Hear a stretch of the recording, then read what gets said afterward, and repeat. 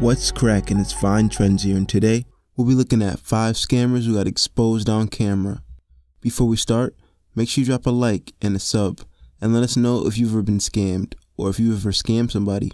Also, don't forget about our $25 Amazon gift card giveaway this month. To enter, all you have to do is click that link below. Without further ado, let's get right into this video. In the number 5 spot, we have a psychic who got exposed. They set her up to make it look like she was looking for a missing child, but she actually wasn't. When she got caught, she tried to act really confused, but in reality, she knew what the hell happened. Honestly, as a psychic, you're a terrible person for giving people false hope like that. We showed her a photo of this missing girl, and she agreed to take the case for 400 bucks. But I think it's solvable. But what Lori didn't know was that the photo our producer gave her was actually a childhood photo of me. One of the first things I do in a case, Lisa, is I always make sure people know that if I feel the person is living or not. So you'll always know Yes. when you talk to a family member, when you start a case, you'll know if this person is dead or Yes. alive. And that's the point. Is that Every I- time. Yes. But apparently, her psychic abilities didn't see this coming. Lori, I'm going to show you something, Okay. okay? Yes. Does this girl look familiar to you? Yes, she does. I work this case. This is a girl who you said was beaten and killed. Okay. This little girl is me. And you told somebody that she's dead.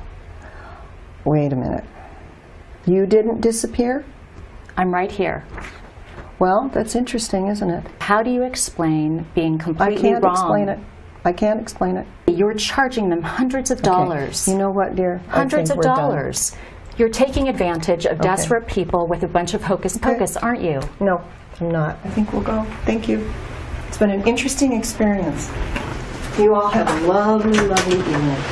In the number 4 spot, we have a man trying to act like he's homeless, but in reality, he drives a nice ass car and lives in a pretty nice house. Honestly, this is fucked up because there are people out there who are actually struggling. Funny thing is, these scammers love to act like they don't know what happened. You damn well know what you did. across that street.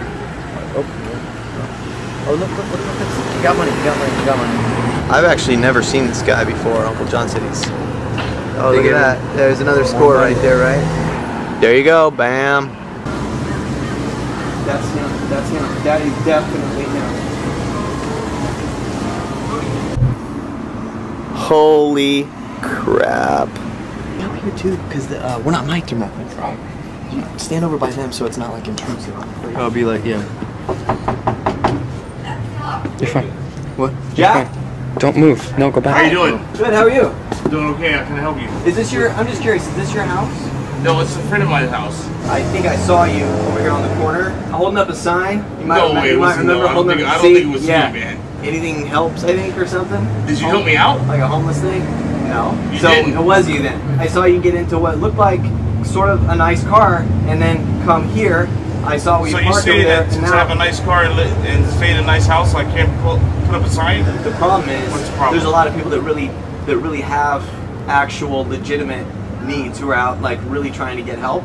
My uncle thought that he saw you the other day get into a nice white car and didn't know where you lived, so we thought it would be interesting to find out where you live, and so we followed you. So it seems like you're a little f***ing jealous of me, bro. Is that what it is? No, no. You come into my house and you question me about what I did all day today. If you if you literally couldn't have a Dude, job, I made that understand- f***ing sign that I You made money. the sign. Are you kidding me right Yes, I made the f***ing sign.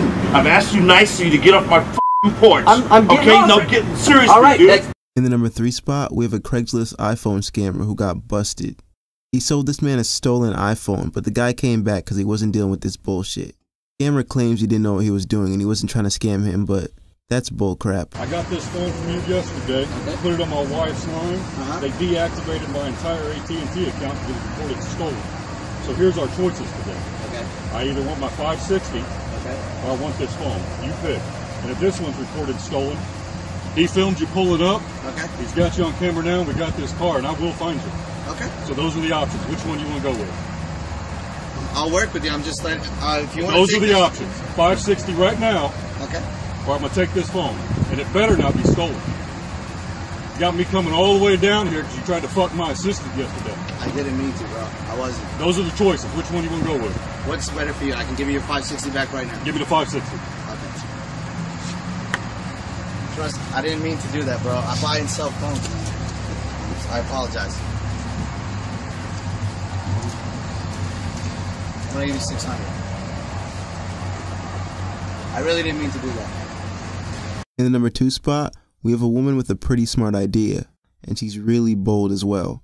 She walked in the store, grabbed a cooler, and tried to return it. Honestly, kudos to her for actually getting away with that shit, because my ass would have got caught on the spot. She was so nonchalant about it, she definitely does this on a daily basis. It takes guts to steal something from a store, but it takes even more guts to try to return something you never even bought. But that's what this duo tried to pull off on a busy day at Westlake Hardware back in October. In the video, you can see the two walk in empty handed. The woman's shirt may say rockstar, but let's not be too quick to assume that's what she is. Then they make their way to the coolers and then to the registers. And they proceed to walk up to the um, checkout stands and tell the clerk that they're returning that cooler cooler they never paid for. They just picked it up in the store and walked up there. They convince the clerk that they're returning it. You know, something faulty with a plastic tub. But without a receipt, they can only get a store gift card. And just like that, they're on their way to free money. Um, I, I think that that was a, a bold or a, a eye opener for us. We're, we're not, we don't see that all the time. During the checkout, the woman tries to lift up the cooler, but when she places it back down, she knocks over something. Then we see her bend over to help pick it up. It's definitely a different side of her that we haven't seen, but at least she was nice enough to clean up her mess, whatever that was. Her accomplice has been identified as William Smedley and has already been arrested. However, he's not tattling on his partner in crime. And finally, in the number one spot, we have a high school scam artist. Not in high school anymore, but when he was, he scammed people out of millions of dollars. Yeah. I was thinking, I feel really special. I'm in school, and I couldn't wait to get home and uh, continue running this company. I felt like a CEO. A Mission Viejo teenager is in trouble with the law after the Security and Exchange Commission accused him of defrauding people out of millions of dollars. Suddenly, Cole found himself in hot water, but he was also in the news and loving every minute of it. At first, I thought it was. Uh, awesome. a teacher was coming up to me and asking for my autograph that first day on campus after the news broke. And what kind of teacher was he? An economics teacher. He got lucky. First time out, the SEC let him go. But teenage Cole had tapped into something dark and exciting. He found he could make a lot of money breaking the rules, and he was good at it. I had finally accomplished my goal of being a, a millionaire by the end of high school. Uh, I've been saying that since I was 14 that I that was my goal. It sounds ridiculous, but to me, I knew I could do it. No one ever taught me any of these things. One by one, they all came to me. At 19, he was at it again. He attempted to embezzle $400,000 from a Mission Viejo bank to fund more gambling. I'm walking to my car, and uh, all of a sudden, it's a scene out of a movie. You know, there's two or three cop cars and, and, and guy gets out and puts your hands up and he's got a gun, he's pointing it. And I was just like, and I'm just, I'm just out of my mind. Well, that's all for today and I hope you enjoyed this video. If you did, make sure you drop a like and a sub and let us know what you think the best way to scam somebody is. Also, don't forget about our $25 Amazon gift card giveaway this month.